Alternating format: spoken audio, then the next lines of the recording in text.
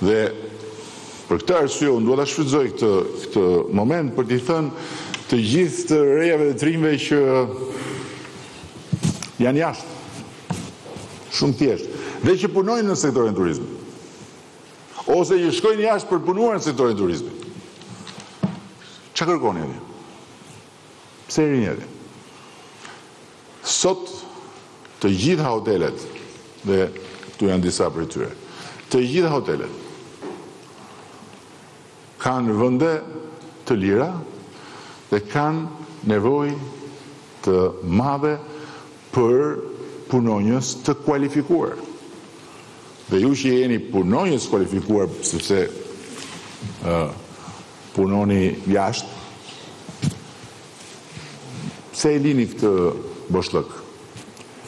Ashtu sikundër i them të tjerëve që që ë historinë e pagave e dëgjojnë nga muhabetet.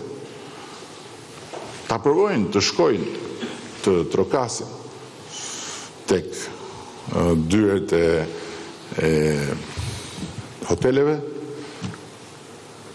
të infrastrukturës turistike dhe të shohin që ka për ta mundësi punësimi. Por, sigurisht që të jemi shumë të vërtetë, ë mundësia e punësimit në turizëm sot nuk është asgjë me mundësinë e punësimit në turizëm nesër, pasnesër, duke marrë parasysh se sa shumë investime Janë në procese miratimesh nga kërkesat e sipërmarrjes private në Tiranë, në vijën bregdetare dhe edhe më gjerë kur vjen puna për agroturizmin apo kur vjen puna për hoteleri të nivelit të lartë. Dhe të gjitha këto investime që janë masive, kanë nevojë për njerëz të kualifikuar dhe pa diskutim që vitet në vijim do të tregojnë vit pas viti që Shqipëria falë kësaj fuqie që po merr nga turizmi do të ketë kapacitetin të paguajë në industrinë e turizmit Punonjës të kualifikuar pa asnjë ndryshim nga vendet e rajonit. Pa asnjë ndryshim.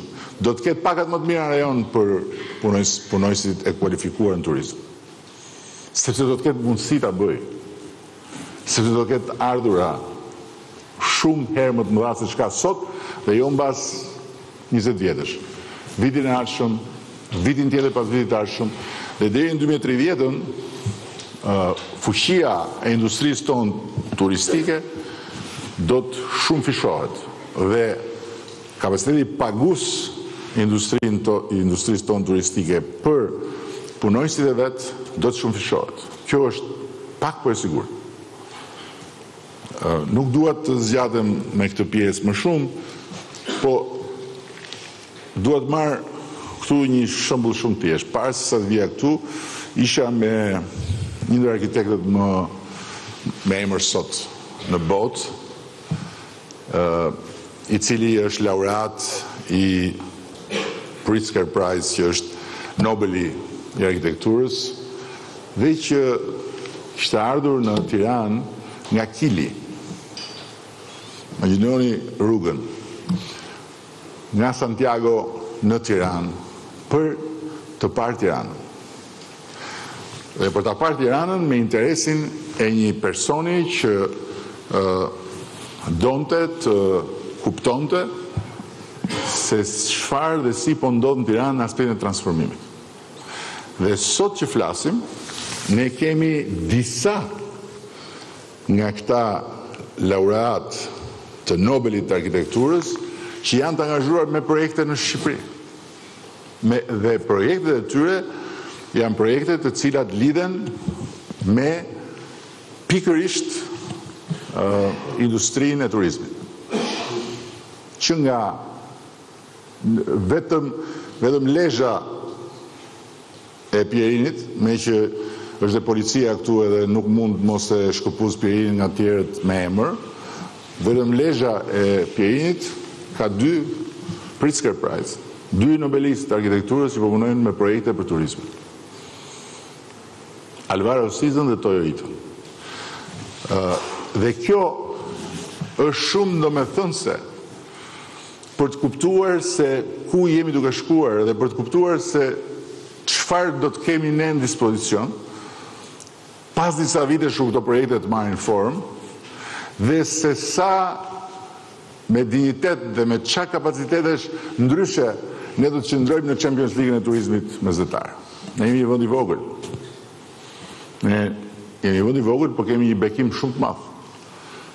Prandaj unë them gjithmonë që Zoti kur bëri Shqipërinë e bëri ditën e dielë kur ishte pushim. Edhe në 28000 kilometra katror ka futur çdo gjë. Dy dete. Nëntë lumenj. Male. Lugina fantastike. pasuri nëntokësore,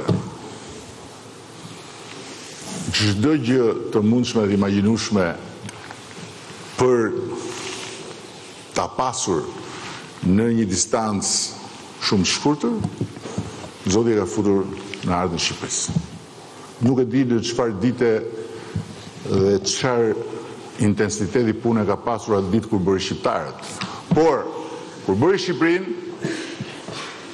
ishte e dielë dhe kishte pushim. Kur bëri shqiptarët, ka qenë shumë i zënë me siguri edhe në një moment, në një moment stresi ka nxjerrë shqiptarët. Dhe nga ai moment stresi, shqiptarët dolën aq sa të jashtëzakonshëm kur janë vetëm dhe kur janë përballë një sfide që nuk kanë kujt t'i drejtohen tjetër përveçse forcave të veta, të brendshme si individë, hidhi ku të duash. S'ka problem, aq edhe t'jashtëzakonshëm pastaj për t'u ngrënë me njëri-tjetrin kur janë bashkë edhe s'janë vetëm. Po kjo është temë tjetër. Këtu po flasim për ne dhe turistët tani. Nuk po flasim për ne dhe ne. Çfarë duan, çfarë thonë turistët kur vijnë në Shqipëri?